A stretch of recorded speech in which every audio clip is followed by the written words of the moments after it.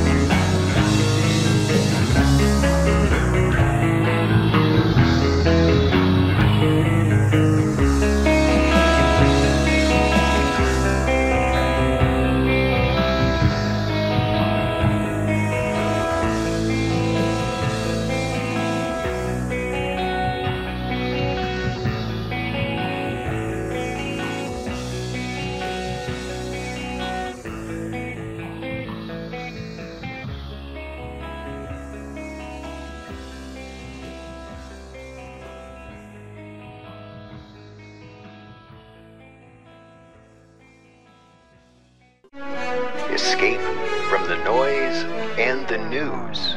Chill out.